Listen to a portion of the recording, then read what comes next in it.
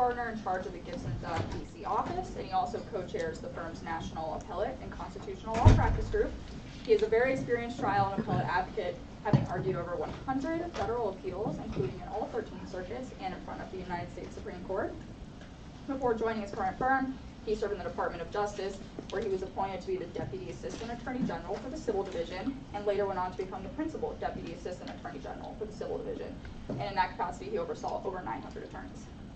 He completed his undergraduate degree at Williams College and later went on to our very own University of Chicago Law School. Um, during that time, he was the editor for the Law Review and he graduated with honors.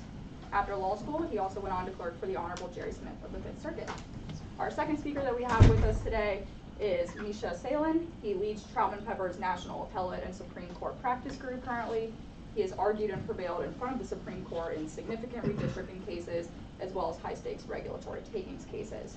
Before joining the current firm, he served as the Solicitor General of Wisconsin and also served in the office of the West Virginia Attorney General as the Deputy Attorney General and as General Counsel. He completed his undergraduate degree at Amherst College and later went on to Georgetown University Law Center. After law school, he clerked for Judge Kozinski of the Ninth Circuit, Judge Brown of the DC Circuit, and finally for Justice Kennedy of the Supreme Court of the United States. Please join me in welcoming our speakers today. That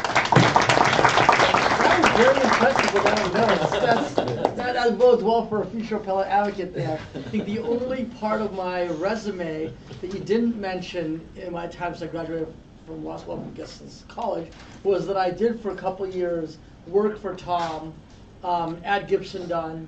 Uh, Tom hired me three separate times uh, at Gibson. And speaking of three, this is our third year now doing this, this uh, Supreme Court preview. Absolutely. And yes, thank you, Ali, for that wonderful introduction. And I, I, guess as long as we're filling in biographic lines, I don't have this on my public resume, but when I was at the law school, I was the vice president of events for the Federalist Society, which was hugely important, as I suspect it still is today, because I was responsible for arranging for the, the pizza and the drinks and all of that. So I'm glad to see these excellent traditions being carried on. Uh, so, so thank you again for having us.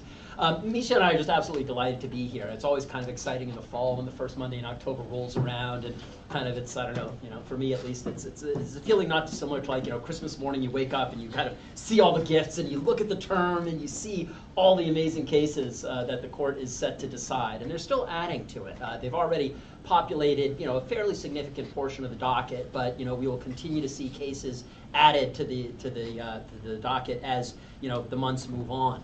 Um, so far, I would say that the, the term is shaping up is perhaps not as momentous as last term. Um, again, we'll see, of course, what cases get added. Um, but they certainly have a, a focus this term on administrative law and regulatory law. There are a number, some of which we'll be discussing today, but a number of very high profile regulatory cases on the Supreme Court's docket, which is typical and somewhat reflective of the way the court uh, you know, has, has you know, acted in the last few years, that there are certain topical areas of law that they seem to be focused on. Maybe they sense kind of, you know, the, the need to bring a little more rigor to the analysis and, and areas where they, they definitely are looking to be more active uh, than courts in terms past. And I think administrative law is certainly uh, up at the top of the list. Um, this is, of course, you know, kind of we're, we're now in, the, in an era where we have there's a solid six to three conservative majority on the court, and by, by most accounts, I would say it's it's the court has been performing kind of as many people expected, um, and I say that not just with regard to the outcome of particular cases, you know, overruling Roe versus Wade, and you know, important precedents in the area of affirmative action, Second Amendment rights, um, but also in terms of the cases that reach the court's docket. I think one thing that often kind of gets lost in particularly media coverage of the Supreme Court is that the changed composition of the court not only has an effect on the outcomes of the cases, but on what cases the court chooses to decide. Um, I mean, it's no secret, Supreme Court justices have talked about this, is that a big consideration in deciding whether to vote to grant cert in a case is how the court thinks that's going to come out. And so you could have cases where justices would say, this is an important issue. We probably do need to clarify this area of law, but given the current composition of the court, now is not the right time to take on this issue. And when you have pretty much total 100% control of the cases that you decide, that make it on your docket, you know, unlike most appellate courts of the United States, the Supreme Court, of course, is a court of discretionary review, they can choose what areas of law they want to decide uh, and, and decide in. And so I think for that reason, too, the kind of changed composition of the court um, is having and will continue to have fairly far-reaching consequences. Um, the last thing I'll say, just by way of kind of introduction, is that notwithstanding the solid six to three conservative majority, one interesting dynamic we've observed, particularly in the last term, is that the conservatives don't always vote as a bloc. Um, there are several cases where, you know, the kind of quote-unquote conservative justices voted for kind of quote-unquote the liberal outcome, the Voting Rights Act, uh, and other areas where it would be a mistake to just assume that all six conservative justices are going to see these same legal issues the same way. Um, and so I think advocates going before the court, particularly in politically charged or constitutional cases, now need to think about, well, okay, I'm not just appealing to kind of, you know, the, the Justice Thomases and Alitos, but I want to make sure that I also convince, you know, the Robertses, the Kavanaughs, and the Gorsuches of the world. Um, one just fascinating statistic from last term was that Justice Kavanaugh was more often in alignment with Justice Jackson than with Justice Thomas um, in cases, which again is one of those kind of, can that possibly be right? Um, but it just goes to show that it would be a mistake to treat those six conservative votes as monolithic uh, and not subject to persuasion in an appropriate case. Yeah, so, you know, Justice Brennan used to ask his law clerks when they first started, you know, what's the most important rule of the US Supreme Court? And, you know, the clerks say, oh, the First Amendment, the Fourteenth Amendment. He would say, no, it's the rule of five. You need to get five votes to win at the court. And so it is a, a big difference between having a five-four conservative court and a six-three conservative court. When you have a five-four conservative court, you know, then you, then you as an advocate who want, if you want to reach a result the conservatives wouldn't like, or if you're a conservative advocate and you want to make sure you don't lose the vote, you got to think about, you know, what's I can't you can't lose one justice because the, the liberal the liberal justices are voting as a bloc. And there, if you have a a justice who's on the conservative side that has like an esoteric view of the law, like Justice Thomas does sometimes, Justice Scalia used to, you could win it by just picking up one vote. But now, and it doesn't really work. I mean, there was a, an important Clean Water Act case last term when where the, the environmentalists managed to get Justice Kavanaugh on their side. One of the cases that he was with Justice Jackson, but they still lost five to four because you got to get you got to get six votes. Same, you know, in in, in Dobbs, the, case of returning Roe, Roe versus Wade, you know, the chief is definitely an incrementalist. So um, the depending on how you look at who was trying to, you know, the 15 week ban um, being upheld, whether that was who's who was winning there. Um, the the fact that the chief was willing to uphold the 15 week ban but wasn't willing to go further didn't end up making a substantive difference because there was the rule of five, five votes to overturn Roe Roe versus Wade.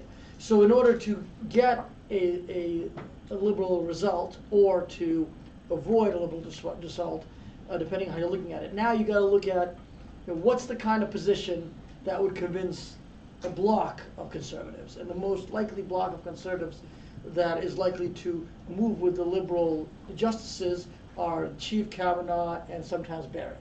But I think most most likely the Chief and, and Kavanaugh. So you got to craft your arguments in a way, if you're trying to get those votes, to um, to appeal to the to that block and find commonality between them, which is quite different than how you would do it if you were trying to get one esoteric vote. It doesn't get you much good if you can come up with a theory that gets you just Justice Thomas, uh, because he has some esoteric view of uh, the you know arbitration or things of, of that sort.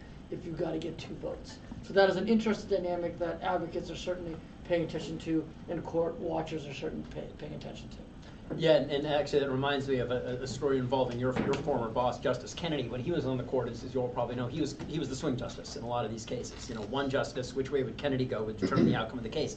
And so in some cases where advocates knew that Justice Kennedy's vote was going to be crucial to assembling that five justice majority, you would literally have people, typically amici, but they would file amicus briefs that would only cite Kennedy opinions. So that whether that be like majority, concurrences, dissents, it would be like the law according to Justice Kennedy. I mean, it was cynical, it was transparent. I loved it because it just showed, it underscored the importance of getting that vote. Uh, I don't recommend writing, you know, votes or briefs, you know, tailored to the vote of a single justice. But again, people kind of were, were happy to be very honest about it, realizing that that was the one vote in play, that was the one vote that was going to decide it, and that's why you basically see the brief that would say it exclusively to Kennedy opinions. so. Anyways, um, before we talk about the cases, one thing we did just want to touch on is, is just address the, the, the issue that kind of at least has been dominating the media in the last few months about Supreme Court ethics. Um, you know, as, as you all probably know, there are a number of bills right now pending in Congress um, that would effectively force the United States Supreme Court to adopt its own ethics code and then apply it to itself.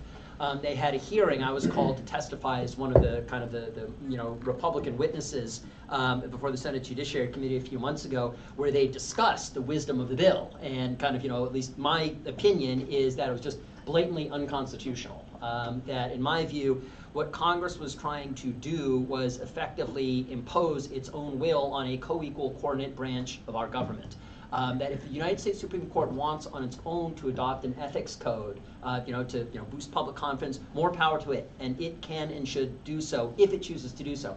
But what Congress is currently contemplating doing is passing a law that would require the Supreme Court to act just like a federal agency and put out a public code of ethics for notice and comment. I kid you not. Get comments from the public, and then once that notice and comment process was completed, adopt the code for itself. Um, so, you know, at least in, in, my, you know, kind of, you know, humble opinion, um, that was just a, a, complete power grab by Congress, totally unconstitutional. Um, you know, I'm, I'm, sure my testimony persuaded them. I can't imagine for, you know, a minute that they would do something, you know, kind of so unconstitutional like that. Surely, surely Congress would respect the prerogative of the Supreme Court to govern its own affairs. So I'm, I'm optimistic it will go away. But this whole issue of ethics in the Supreme Court, I'm confident, is going to stay with us for a while, at least unless and until the court does something on its own, such as adopt a code for itself.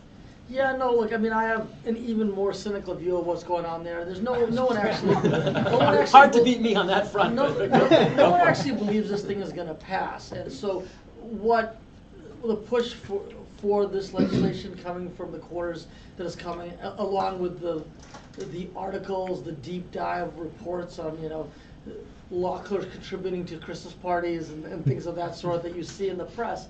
You know, this is part of a certain aspect of the political um, spectrum that is very unhappy that they lost control of the U.S. Supreme Court. They're they're unhappy that they're going to um, get decisions that they don't like uh, in, in certain hot button areas for a while, and they have this push to, to try to pack the court.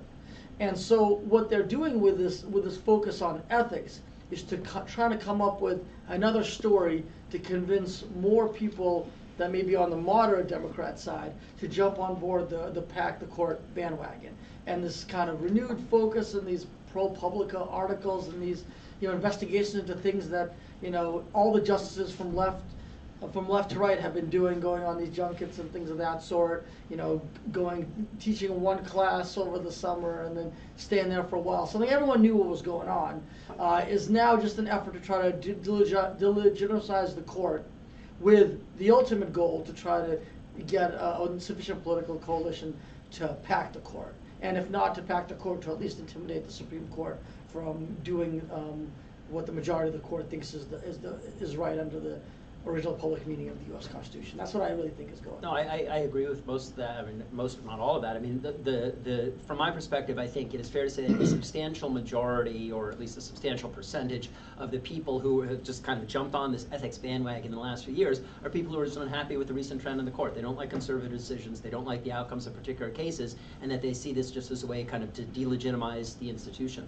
um, rather than actually reform it. Yeah, zero of those people would have cared about Ju- Justice Ginsburg um, taking, you know, well-funded trips by, you know, left-wing donors. Zero, literally not a single one of those folks. So, you know, it's, it's a bit, it's a bit of cap and ball.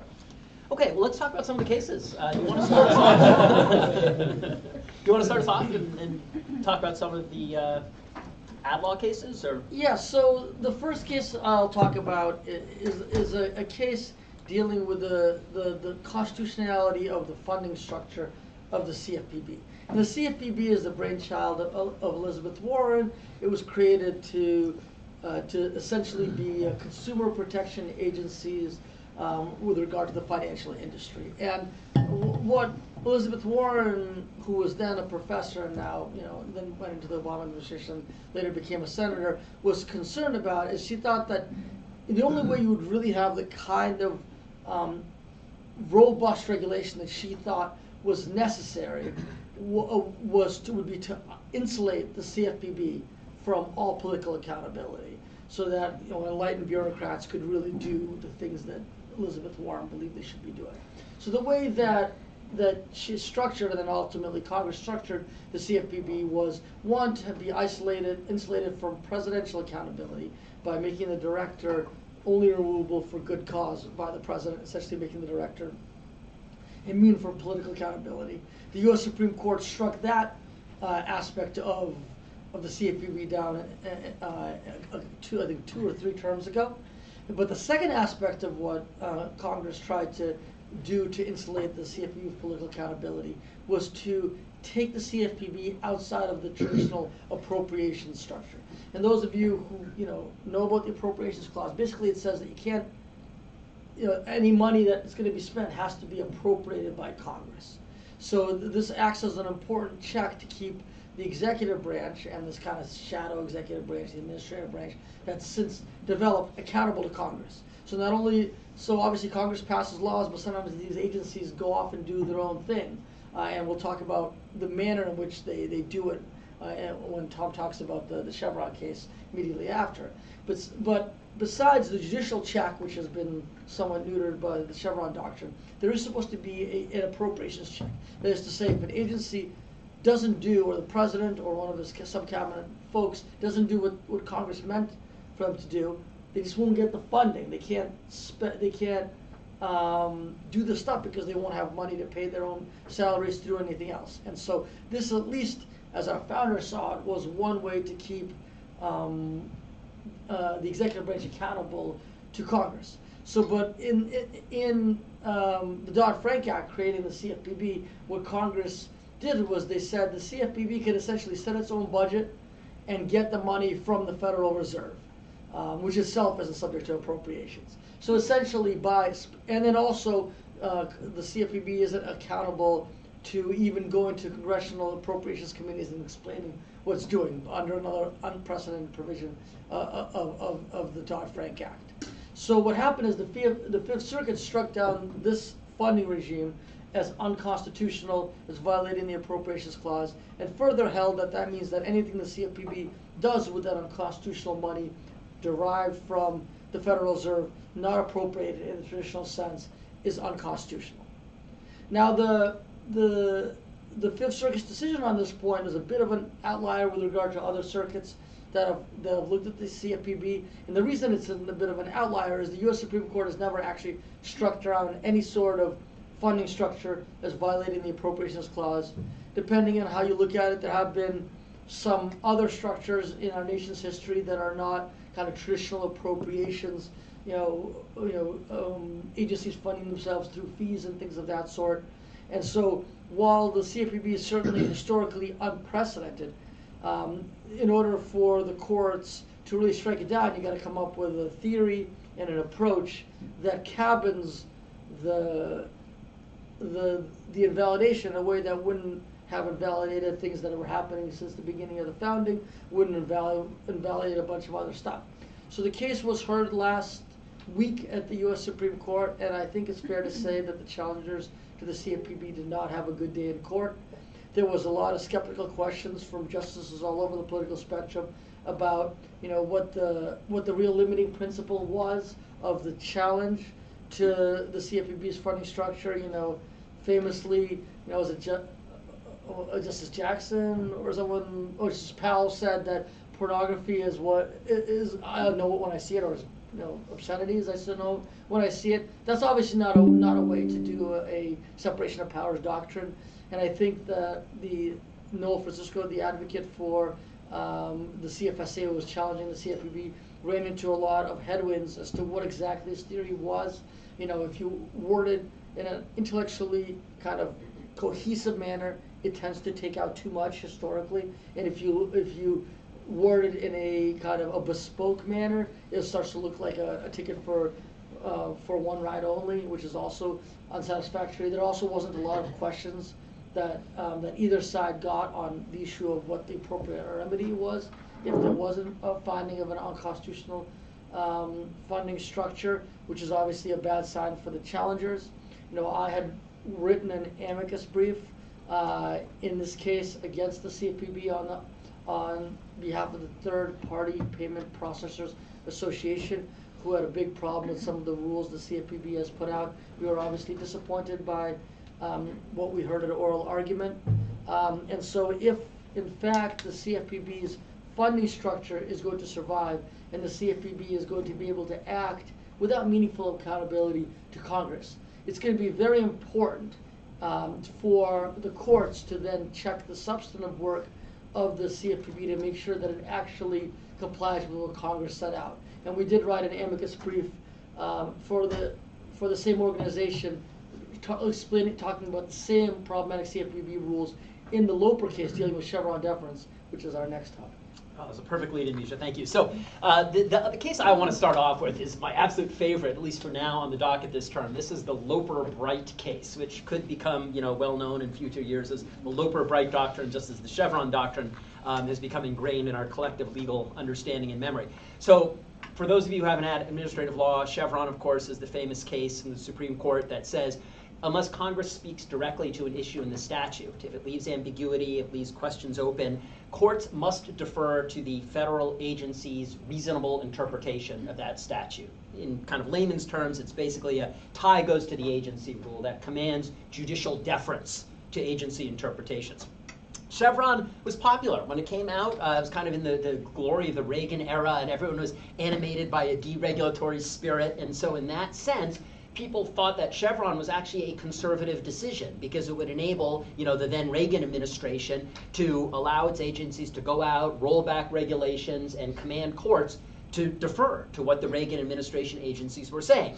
Well, times changed, and I think over the course of the ensuing decades, people had a lot of questions, not just about the kind of you know policy, political wisdom about the Chevron doctrine, but really going back to first principles. Um, then Judge Neil Gorsuch, when he was a Tenth Circuit judge, wrote a concurring opinion. I believe actually it was a concurrence to his own majority opinion, but he wrote a concurring opinion where he questioned Chevron. He said if we go back to Marbury versus Madison and first principles of our government, it is emphatically the province of the judicial department to say what the law is. And if that's the fundamental premise underlying our entire judicial branch, well, then how the heck can you justify a doctrine that says, well, it's actually the prerogative of the regulatory agency to say what the law is, unless it just is really unreasonable or Congress has already answered it? That you just can't reconcile Chevron with the concept that it's the prerogative of our federal judges to interpret federal law.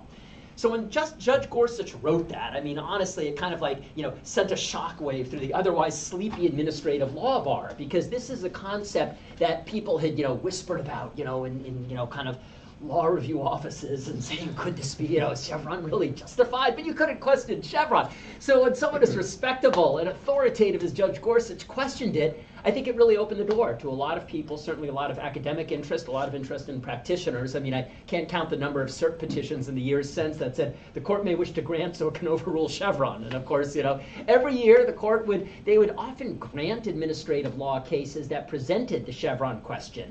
And so those of us who toil in the vineyards of administrative law would think, is this the case? Is this the one they're going to take that will overrule Chevron? And every year it was like Charlie Brown and Lucy in the football, where like, you know, the Supreme Court would pull it away at the last minute and Chevron would survive for another day. Without being mentioned. So yes, yes, it just it, it just had this life. It just could. It's the horror movie villain you could not kill. It would always come back. So anyways, so famous last words. Loper Bright is the case that will overrule Chevron. We will see. Uh, Loper Bright is on this court's docket. The court has yet to schedule an argument date, but the question is squarely presented, and presumably this is why the court granted cert should Chevron be overruled. And the facts of Loper Bright are fantastic. I mean, honestly, kind of like a free market libertarian conservative, I couldn't have scripted a better idea. This concerns a federal regulation that governs herring fishermen. And apparently, if you are a herring fisherman, at least under certain circumstances, you have to have a federal monitor embedded in your boat, I presume to enforce the limits on, on herring fishing. And, I mean, I am not a herring fisherman, but I am reliably advised that the cost of this monitor, which the regulation says the herring fisherman must pay for. So not only do you need to let you know the federal guy on your boat, you got to pay his salary. If you were a herring fisherman, that can consume like 20% of your wages. I mean, my heart went out to herring fishermen around the world when I saw this. anyway, so justice is on their side. But the question is whether the Supreme Court is actually going to overrule Chevron. Um, I- you know, uh, famous last words. I, I think they very well could be poised to do it, and if not, just you know, kind of formally overrule it, at least construe it or limit it so substantially that it, it, it is not what we have commonly understood as the Chevron doctrine. They basically redefine it out of existence. One very interesting thing to notice, and, and you've probably seen this, kind of those of us who like monitor what the Solicitor General says in, in briefs before the court, is that over the last five or ten years, the Solicitor General, who if anyone would be poised to claim Chevron deference in the Supreme Court, it would be the Solicitor General, has all but abandoned invoking Chevron deference. They haven't completely done it, but there have been many, many cases that, you know, if you were a government lawyer, would almost cry out for urging the court to apply Chevron deference. And the Solicitor General, I think, realizing that Chevron is kind of, you know, existing under the sword of Damocles, has not made the Chevron argument. So I think there too, the Solicitor General almost implicitly has realized that the writing may be on the wall for Chevron. Um, so if in fact they do go ahead and overrule it, um, you know, I think fair to say it would be somewhat of a sea change in administrative law, although as I noted, Chevron has been decreasingly applied over the years, so it doesn't play as much a role in administrative litigation as it has historically. But I think it nonetheless would send a very, very strong signal, strongest possible signal to the lower courts that when it comes to interpreting statutes, you don't defer to the agency. Judges have their jobs because they're smart people, they're capable of reading statutes, and they're capable of determining what the law is. Yeah, so I mean, the, I think it's true that was first of all, Chevron hasn't actually been applied by the U.S. Supreme Court in like 15 years, and I think in conservative circuits, you know, they're kind of following that that view. But you know, if you when you're, if you're doing ad law case in the D.C. Circuit, um, you know, Chevron is still the the 8,000 pound gorilla, uh, and then just you know, a little aside about Justice Gorsuch and, and Chevron deference. The way the U.S. Supreme Court cases get named is they're named after the party that petitions for cert. So, so Ch- Chevron was Chevron versus NRDC. Um, now, now, the actual underlying case in Chevron was actually brought by the NRDC against the EPA.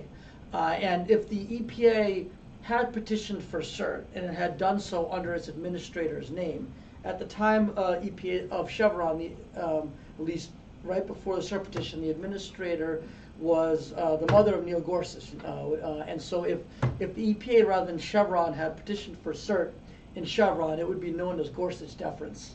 And so Ju- Justice Gorsuch would be uh, would would have had the this the amazing honor of killing off the doctrine named after his mom. But the, the, sadly or happily, whatever that is, that, that is not that did not occur. Um, so um, the next case, completely from a dif- different area of law, you know, uh, comes from the area of redistricting. And Tom, during his opening remarks, said one of the things the Supreme Court can do is control its own docket and dis- uh, and decide and decide that it's not going to take a certain area. But in a certain category of cases, coming up through uh, from three judge panels, the Supreme Court has essentially mandatory appellate jurisdiction. Now they can have some ways to get around it by saying the issue is just so unimportant that or so unsubstantial we're not going to take it. But in certain three judge panel cases, the U.S. Supreme Court is the direct appeal. If it's a substantial issue, the Supreme Court does have to take it, and that's why the U.S. Supreme Court continues to get more election uh, and more particular, more redistricting cases that I think it, it, it otherwise would want. And what the U.S. Supreme Court currently has on its on its docket, and it's going to be argued, I believe, later this week or next week, is this case where um, there was a challenge to uh, a a congressional district that was drawn in South Carolina as a racial gerrymander. Now, what you know, in order to really understand this, I know, and I'll be cognizant of time, I gotta get, give you guys a little, little primer on, on redistricting law. So, um, under section two of the Voting Rights Act, um, Congress, uh, a, a state has to draw a majority minority district in certain, in certain circumstances, which means it's gotta be race focused. Uh, Two, um, the Supreme Court has held that political gerrymandering is not unconstitutional, or at least not justiciable under the US Constitution. Three, the U.S. Supreme Court has held that uh, when a state draws uh, districts with a predominant purpose of race, that is unconstitutional until unless the state can satisfy strict scrutiny um, under under a doctrine known as the Shaw doctrine. So, with regard to the section two of the Voting Rights Act, um, you got to draw districts based on race in certain circumstances. But under the Shaw doctrine, you can't draw districts based on race unless you can satisfy strict scrutiny, which the Supreme Court has said, at least in various considered dicta, includes compliance sec- with section two of the VRA. So last term in the Alabama case, that case raised the, the real tension between these two things. Because Alabama drawing race-blind districts would never draw, would never have drawn a second majority minority district. But under traditional understandings of what section two of the VRA doctrine requires, Alabama had to. And the Supreme Court ruled against Alabama in a somewhat surprise decision last term, based largely on deference to the, to the, to the district court's factual findings on section two of the VRA, and then, uh, you might have seen in the news, the US Supreme Court recently rebuffs Alabama's attempt to try to step around that ruling, um, you know, essentially sticking to its, its decision in, in the Alabama section two of the VRA case. But that case ultimately turned, I think, on deference to the district, to, to the trial court, you know, which is not something that you, the US Supreme Court usually gets involved in, because if it's a issue of applying an established body of law, the Supreme Court will deny cert. But in election law cases, coming up through these two judge panels, Supreme Court has no choice. Now, this, how did this relate to the South Carolina case? Well, in South Carolina case, a three-judge panel, the defense there by the, by the South Carolina legislature was, we were not doing racial gerrymandering, we were just doing politics, which as Supreme Court, has said is permissible. And race and politics are strongly correlated in certain parts of the country. And they said, of course, why would we be doing this race stuff? We obviously wanted to have more Republicans in Congress. It's kind of silly to say that we were doing racial gerrymandering. We were doing political gerrymandering.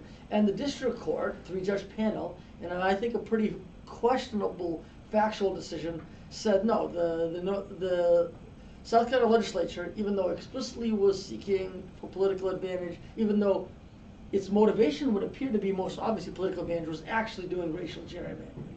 And as I said, I think as a initial matter, if you look at the evidence, it's pretty clear that's not what happened. But the U.S. Supreme Court is now taking this case essentially as a traditional appellate court. And while South Carolina attempts to put some legal issues in there, it's ultimately an issue of is the U.S. Supreme Court going to second guess uh, what the three judge panel has done? And I think that there is a good reason to think the Supreme Court might be open to doing that, notwithstanding with what happened in- in Alabama. The problem is, of course, if the the doctrines are such that the legislature can't do race stuff unless it has to do race stuff. And it can do politics, but it can't do race. And if that's ultimately decided by whatever three-judge panel is drawn, legislatures are in an impossible position. Because then it's just a matter of the luck of the draw, what three-judge panel you, um, you get. And you can never be assured that your map is gonna survive, no matter how good legal advice, uh, you get in advance. So the US Supreme Court is not gonna take a more muscular view, review of these, of these three-judge panels, and just let, just give them deference, and this can go left and right, you know, conservatives can come up with a, can come up, come up with a, a, a successfully composed panel that can get them factual findings in, in determining that, that what Democrats had sought to do as a permissible under federal law, political gerrymander is actually um, a, a racial gerrymander and thus, thus unconstitutional. You basically have redistricting by three-judge panel lottery. And the US Supreme Court, I think, will be tempted in the South Carolina case to go a little, uh, to be a little more searching than it was in the Alabama case. Because there isn't any issue of section two of the VRA here, it's just clearly what happened here is the Alabama, is the, is the South Carolina Supreme Court was trying to engage in some political gerrymandering. And to put a little bit of a, a little bit of teeth on the Supreme Court's review of these three judge panels, so that they're not just essentially making redistricting maps throughout, um, their jurisdictions. I can't imagine the Supreme Court actively enjoys getting involved in all of these redistricting jurisdictions. I mean, kind of the vibe that you get from a lot of their decisions are kind of they want to, you know, limit their involvement, you know, particularly if it is perceived as kind of, you know, getting involved in the, the you know, ground level political process. Um, you know, things are not justiciable, they don't want to get into it, but in some cases, to your point, they don't have a choice. Yeah, they certainly tried to get rid of, get out of the thicket through, um, in the political gerrymandering case, and what, you know, the folks on the other side of those cases said, is they said, court, you know, these cases are just gonna come back as political, as racial gerrymandering cases and as section two cases. And while the Supreme Court was correct in Rucho in deciding as it did, the, the plaintiffs in that case, their predictions have, have borne out real world. Yeah. Well, one of the fun things about watching the Supreme Court over the years is seeing the court grapple with establishing existing bodies of case law, you know, existing doctrines, particularly in the constitutional context, to new technologies. Uh, and one area where this has particularly been, you know, visible the last few years is in the context of, you know, social media and new technologies. Um, and so this term, the court has already granted a number of cases um, in this area. Uh, there, there were two cases that kind of came up as a tandem um, that the court just added to its docket recently. Um, they both involve efforts by state legislatures, one from Texas, one from Florida, to essentially regulate uh, how social media platforms can run their sites. Um, and although the law's particulars differed a little bit, kind of Texas and Florida both were getting at the same sort of thing, where both the states were concerned that social media platforms, including you know Facebook, including you know Twitter, now known as X, other platforms, um, were, were stifling political speech. Um, you know, typically it would be conservative speech that they would be stifling. Uh, they would you know be striking things, banning it, taking it down from the site, often without explanation. And so the legislatures each passed a law that essentially sought to control what the social media companies can do. Um, and this would range from either just, you know, A, flatly prohibiting, um, you know, banning certain types of speech or not posting it on the site. Um, it also involved in cases where the company decided to take down a post, providing kind of a reasoned explanation uh, for, for why they did that. Um, the, the social media companies um, lost uh, in, the, in, the, in the challenges that came out of the the challenge that came out of the Fifth Circuit. They won in the challenge that came out of the Eleventh Circuit, the Florida's law. So as these cases came up to the court, um, you really had a classic instance of a, a demonstrable circuit split, notwithstanding the particular differences in the two laws, but on a very important, timely, recurring issue. And in fact, one of the, the kind of funny things out looking at it is, by my account or by my estimation, I think every party involved told the court that it needed to grant cert, um, you know, which is somewhat rare. I mean, typically when a case goes up to the court, you have one party, you know, banging the table that this is the most important, urgent case that demands this court's resolution, and the other says, uh, nothing to see here, court, you know, move on. But, but this was one where all the parties were aligned in the importance of review. Um, the Supreme Court granted it. They confined their review to two questions as the Solicitor General had framed them. Um, in her brief, she said, here are the two questions you should decide, and the Supreme Court you know, helpfully from the SG's perspective, said we accept the Solicitor General's suggestion, we grant review on these, these two questions. Um, at the heart of these cases is really the fundamental question whether what the social media companies, the tech companies, are doing constitutes protected expression. Um, in the view of the legislatures, um, th- these companies aren't really engaging in expression themselves. I mean, they're providing, you know, a forum, a marketplace for, for public speech to occur. And seen through that prism, in the view of the legislatures, it's perfectly permissible to regulate these companies and say, you know, you, you can't, you know, discriminate among types of speech. You can't ban this speech and allow this speech. If you do want to prohibit something from being said on your site, you have to basically provide due process of sort. You have to provide a reasoned explanation for why you want to doing it, why you want to do that. And in the legislature's views, this was not qualitatively different than the legislature passing a host of other types of laws that apply to tech companies. You know, employment laws or you know, financial, you know, all sorts of laws apply equally to tech companies as they do to others. So they said, you know, what, what's the big deal here? We're acting within our police power. We're controlling conduct by companies that are doing business in our border. This is just not a speech case. The tech companies, of course, see it very differently, as does the Solicitor General. In their view, uh, this is something that regulates speech. In their view, the process of culling material, uh, curating material, analyzing what's appropriate to go up on the site is itself protected expressive activity. Therefore, it's entitled to First Amendment protection, and although possibly under some circumstances not present here, you could have a rationale why a legislature could regulate in that area. This kind of, you know, blunderbuss, broad-based approach taken by these two state legislatures was impermissible under the First Amendment. Um, the court just granted review. Um, I, mean, I, I tend to think they may, the court may be more inclined to limit what state legislatures can do. I think not only, you know, are, are the First Amendment concerns present, I think as a practical matter, it would make it, you know, very difficult, if not impossible, to kind of run or manage a social media site if, for example, every time you wanted to take down someone's post, you had to have some staff member like write a, you know, an opinion as to kind of why this post was coming down. I mean, you know, it doesn't take a lot of calculation to figure out that this would be a, a not infrequent occurrence. Um, and it would just make it very, very difficult as a practical matter, I think, to manage and operate these types of social media sites. Um, the court also granted review in a case involving um, whether a public official who excludes people from his or her social media uh, account is uh, i- i- violating the First Amendment if it's their personal social media account. In other words, public official, personal account, they ban people. Are they acting as a state actor in that capacity when they limit people from accessing their site?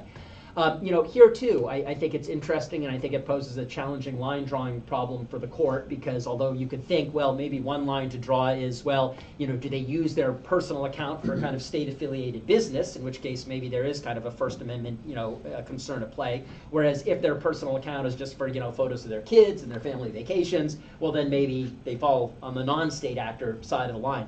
Either way, this whole situation and the fact that they, the court seems to be busily adding all these social media cases to the docket reminds me of a, of a comment actually made by Justice Kagan uh, an, in, when she was being interviewed at a law school a while ago, where they asked her about the court's comfort level in kind of wading into the murky world of modern technology, you know, given that these justices, I'm, I'm speculating, may not be the most, you know, avant-garde, cutting-edge users and kind of the, the technological vanguard of society in the, in the way that you all and, you know, kind of the, the, the younger crowd is.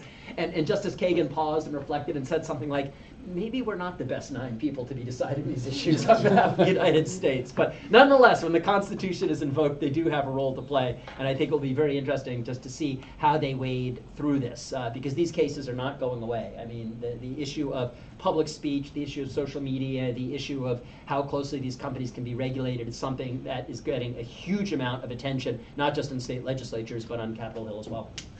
Yeah, I see we're running a little past our time. I've got a, I've got a case that you're probably not gonna read about in the paper that I'll try to summarize very quickly because I get to argue it in a month. Um, you know, this is a case called Rudisill. Uh, it involves, um, veterans benefits.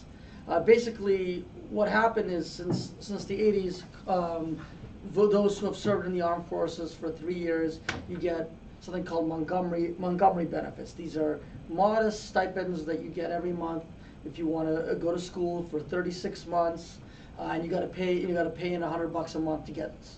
So, you know, this was a a fine program, a peacetime program. The United States wasn't involved in any wars. Then 9/11 happens. Obviously, war wartime service is much more arduous. So Congress, um, eventually, eight, seven, eight years later, decided we need to reward the, those who have been serving during wartime. So what they said is, for folks who have been getting, who are entitled to Montgomery benefits, but they served after their qualifying period of service after September 11th, you get these much more robust benefits. And basically, whereas Montgomery benefits are monthly stipends, um, uh, post 9/11 benefits are free ride and stipends. It's way, way more generous. And but now what happened is you had a bunch of people who had earned um, and already started using their Montgomery benefits that now had this, you know, op- option had this ability to now you have the same period of service that had happened after September 11, 2001 to uh, 20, 2009 when the effective date of the of the post 9/11 GI Bill came into effect that had that, that were suddenly eligible for much more generous benefits um, for the same period of service. So what Congress did is it created a, a regime that said if you want to uh, if you want to get rid of your Montgomery benefits and you want to get post 9/11 benefits instead, you make an election under this new provision. You get back your, your proportionate share of your Montgomery payments, and you got a lot more benefits. So that's, that's, that's what the provision is dealing with. Now there are, however, a category of veterans that I think it's fair to say that Congress did not have in mind when it enacted this, that don't need to upgrade their benefits. That's because they have they have served for so long that they have enough months to get Montgomery benefits, and then also enough additional months from a different period of service to get post 9/11 benefits, so they can have both sets of benefits. Now there is an overall 48 month cap, whatever. So what Congress, what, what the VA had interpreted is they'd interpreted certain language in the, in the, in the provision that said that if you had, you could trade your Montgomery benefits for post 9/11 benefits, to say that even if you don't wanna make that trade because you have a separate entitlement to post 9/11 benefits, you still have to, uh, you still have to get into that regime. So essentially what the VA has said is by accident, Congress has ended up screwing over multiple, uh, uh, period of service veterans. There wasn't a circuit split on this issue, but it's exclusively within the province of the federal circuit. The federal circuit uh, incorrectly ruled en banc um, against uh, our client, who's a long, long-serving a veteran. We took it to the U.S. Supreme Court. The U.S. Supreme Court granted cert. Reply briefs due tomorrow. The case can be argued on November 8th. You know, I, I'm very happy to, to wear the clear white hat. Uh, in the case, I got an amicus brief um, from 41 states from California, Alabama supporting me. Bipartisan congressional amicus brief, every veterans group. SG got nobody in support of her. So, you know, you know, we have, I think we have the stronger of the textual arguments, but the, the statute is a mess. I think because Congress wasn't envisioning, wasn't thinking about this category of long-service veterans when it was creating this benefit conversion regime. So hopefully I will be able to um, secure a victory for these veterans. It's not, this case isn't gonna make a lot of the papers, but you're talking about a regime that impacts 1.7 um, million veterans and growing as more continue to serve, and it could be worth hundreds of thousands of dollars to any particular veteran. You get into billions of dollars. So it's actually, in dollars and cents, it's one of the most important cases this term, and you know, be excited to argue it. Awesome. Well, good luck with that, and um, I guess in our remaining time, uh, ha- happy to answer questions, comments, questions, thoughts from the group on the Supreme Court term or life in general. Especially Russell. I know I was super excited for you guys. Yes. So I was wondering if you could speak briefly about one of my favorite cases from this term. It's being argued today, uh, the Yes. Great Lakes case. Oh, I was going to talk about the other one that's being argued today. well, let me should do Great Lakes. I, have It's no, sort I, I can't. So, uh, well, uh, I was going to say, what's the the, the uh, is Uh, uh, enforceability of a choice of law clause my Oh in, God. ab- in a maritime contract. Tom, th- this is the nightmare, right? You, you study, you know, you know, you have a study for the exam. you're- no, I think I think the way that we'll, we'll, we'll kind of you know give a lesson in appellate advocacy. You acknowledge the question. That's a brilliant, great, great question. Very important case. Very interesting to see what the Supreme Court will do with it. Another case they're arguing. we'll, we'll get back to it. I'd be happy to submit some little briefing on this, Your Honor. Choice of law in maritime. That's that's awesome. I when mean, is contrary to the strong public policy of, of the state. Oh my God, it's awesomely esoteric. So, so let, me, let, me, let me let me let me address the other case being argued this morning. So the other case being argued this morning is actually significant because it, it was being argued by uh, my law partner Gene Scalia, who's a graduate of this university. Uh, Gene Scalia, as you may know, is not just a Gibson Dunn partner, former Secretary of Labor, uh, former Solicitor of Labor too, um, and he was the actual person who, when I was a law student, recruited me for the firm. This is his first argument in the Supreme Court because when his father served on the court, he couldn't argue. Um, so this is his first argument. His father uh, had one argument too before the Supreme Court. Uh, so now he will equal his father in Supreme Court arguments. He just argued it this morning. Um, I, I've been kind of anxiously searching for news reports. I haven't seen how he did, uh, but it's a case involving uh, the whistleblower provisions um, in, in federal law about whether uh, a, a plaintiff tried to uh, sue for being fired or, or you know discharged or demoted because he was a whistleblower has to prove retaliatory intent on the part of the employer. Again, I don't know how it went. Uh, I can say that you know we, we mooted Gene, and I mean he's, he's, he's got a lot of promise. Don't get me wrong. I mean you know seemed seemed to do well, seemed to have control of the cases. So so we'll see, we'll see. Um, but th- there, I, I trust that you know the, the press will cover that you know with at least equal vigor as, as the maritime, which is the maritime They were both equal enough. which is awesome. Okay, other other questions? Yeah, so on on the veteran, on the veterans benefits case, I was wondering if you could uh, talk briefly about, you know, the, the role that, that you see the veterans benefits canon playing in this, you know, the sort of uh, substantive canon that says we construe statutes to favor, you know, veterans benefits, and also sort, of more broadly what you think about these substantive canons and how they mesh with textualism in the originalist project. Yeah, so um, the, the, the pro-veterans canon is just what you would think, which is that if you have a statute, it's like the opposite of Chevron. If you have this, if you have the a statute that's unclear with regard to veterans, the tie goes to the veteran. Essentially, any ambiguity needs to be resolved in, in favor of the veteran. And this canon goes back 150 years. We have, you know, we have s- multiple really good amicus briefs from veteran, veterans organizations talking about how venerable this canon is, and the point that they make, and that I'm happy to embrace, is that when you have a canon that's this long-standing, it kind of becomes part of what Congress is doing when it's drafting statutes. So when Congress is, for example, here, creating a regime that is supposed to be this really generous benefit exchange rate, um, provision for those who need it, if it, if, if that handiwork could accidentally be read to also screw over this entirely different group of long-serving veterans, unless it's unambiguous that that's what the provision does, you know, that you're not gonna read Congress to have accidentally screwed over a bunch of veterans. And this is, um, you know, and, and since this canon is so long-standing, I think it's fair to argue that the Congress drafts its veterans benefits statutes with the understanding of this canon. If you, you know, it's one thing if you're coming up with a new law for a new country, you know, do you want to have these canons? Maybe, maybe not. But once you have canons that are embedded in what Congress is doing, you can't really Lucy with a football and pull it out from them and change what the statute means, which was informed by the canon when Congress drafted, when Congress drafted the relevant statute. Okay, yeah. For the Chevron doctrine case, why do you think it would be more likely, or do you think it'd be more likely that the court would overturn Chevron, get rid of the Chevron doc- doctrine, rather than just opening up the definition of reasonable interpretation? Yeah, that, that's a great question, and, I- mean, you know, I, I say, I, I think it's likelier that they will overrule Chevron rather than narrow it, but I, I, mean, honestly, I can't say that with like, you know, a huge degree of confidence, because as I said, you know, year after year, we keep thinking this is the case where they're actually gonna overrule it and won't. Um, I, I guess I tend to think that the, the easier path is overruling it simply because I, I worry if they let Chevron survive in some diminished form. I mean, it, it almost seems like gamesmanship. In other words, that well, we're, we're not going to overrule Chevron because we're just going to redefine Chevron in a way that makes it not Chevron anymore. I mean, you know, kind of it's it's, it's a little it's a little cute.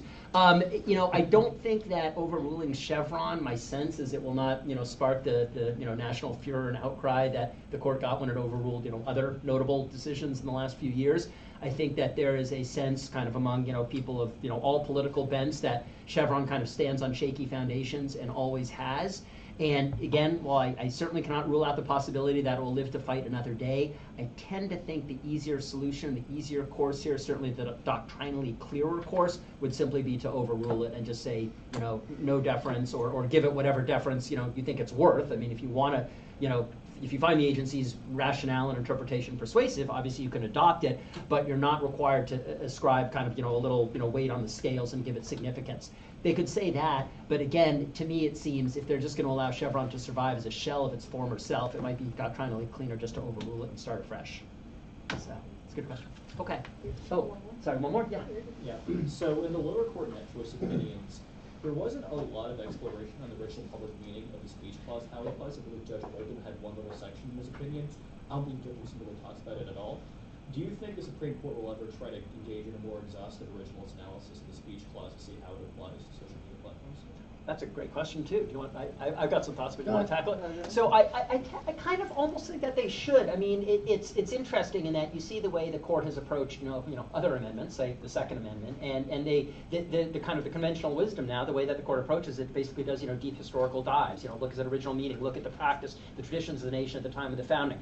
Um, but to your point, I mean, they, they typically don't engage in that when it comes to you know free speech, free expression. Um, that said, I think that there is, is a lot of ferment in that area of law, uh, both in just kind of, you know, the, the you know, legal approach you take to determining what is protected by the amendment, but also just in the area of First Amendment generally. I mean, there's been a lot of talk about, you know, kind of, you know, New York Times versus Sullivan, and a lot of these kind of, you know, really enshrined First Amendment precedents that, you know, like them or not, I understand the originalist argument that these were kind of, you know, manufactured out of whole cloth.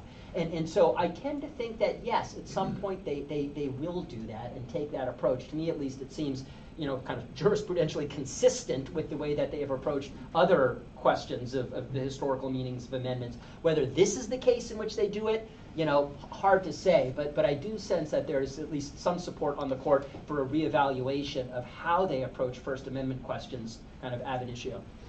Yeah, yeah. So. Well, thank you guys so much for coming, and please join me in thanking our speakers.